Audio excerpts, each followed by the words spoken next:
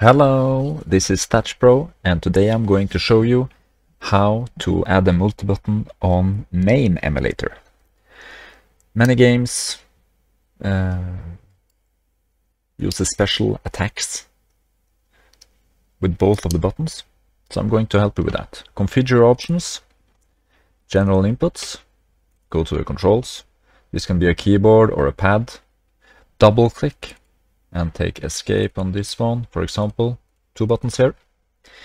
And now I'm going to find a button, random button here, double click and press the spe specific button for the special attacks. That in this example will be button 1 and button 4 on my pad.